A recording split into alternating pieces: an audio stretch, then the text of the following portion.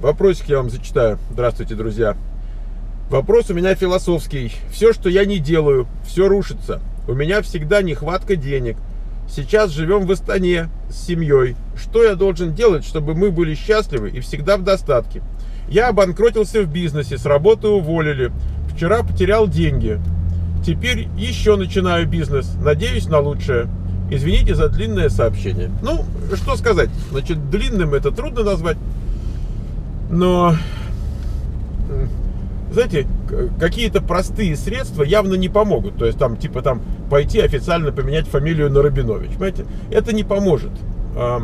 Человек явно занимается чем-то, чем не должен был бы заниматься. То есть, когда все вот так рушится, то значит он не делает то, что у него получается. А, а есть что-то, чтобы у него хорошо получалось. Но он просто как-то искусственно себя загоняет в какие-то виды деятельности, в которых ему кажется, что вот он заработает, или там как-то у него пойдет, или вот, ну, какую-то он пользу принесет и так далее. Значит, если он в бизнесе так, значит, наверное, он не тем бизнесом занимается. Если он с работы его увольняют, ну, может быть, он не на ту работу пошел. Я бы, честно, обратился, во-первых, к специалистам каким-то, вот, которые по профориентации, там есть люди, да, которые тесты всякие тебе дают и говорят, вот ты, наверное, там, ты бы лучше себя чувствовал, если бы занимался вот этим, вот этим и вот этим. А, кроме того, если он начинает бизнес какой-то, значит, я бы сказал так, а, поезжай в какой-нибудь другой город. А, ну вот в Астане люди живут, то поезжай в Караганду, я не знаю. И найди там людей, которые занимаются этим бизнесом, успешные и договорись, что человек, который успешный в этом бизнесе, будет у тебя ментором. То есть он будет тебя вести за какую-то денежку, может быть, за процент там, от результата, там, я не знаю что. Но надо не просто так вот самому там, если не получается, а делай, как делают успешные люди. Успешные люди успешны потому, что они э, пользуются опытом других людей. Вот без этого ничего не будет. Иначе ты все шишки будешь сам набивать. Наверное, э, опыт неудачный в бизнесе или там на работе, наверное, как-то его продвинул в понимании э, вещей.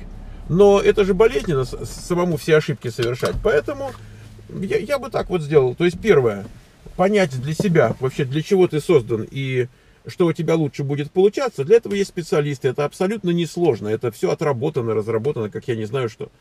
И второе, значит, вот, если ты хочешь заниматься каким-то бизнесом, вот иди к ментору какому-то, и пусть он тебя научит. Я, я бы делал так. Если бы вы хотели делать там школу э, тестеров, я не знаю, там в Нью-Йорке, и вы бы ко мне пришли, да, значит, либо я бы за вас не взялся и сказал бы, знаешь что, мужик, я, я не вижу, как ты можешь это успешно делать. Либо э, я бы вами так поруководил бы там пару-тройку месяцев, и вы бы э, были очень успешны. Понимаете, потому что я умею это делать. То, в любом бизнесе так, в любом бизнесе есть люди, которые умеют это делать. Так почему же надо самому-то? А если, да, вы можете думать, я тоже это знаю, я это умею, но так у вас же не получается. Ну, раз не получается, значит не умеешь. Как только ты понял, что ты не умеешь, и что тебе нужен чужой опыт, значит сразу найдутся люди, э, которые дадут тебе этот опыт. Где есть ученик, там есть учитель. Где нет ученика, там нет учителя. Вот, вот собственно, и все. Я, я бы так шел. Счастливо!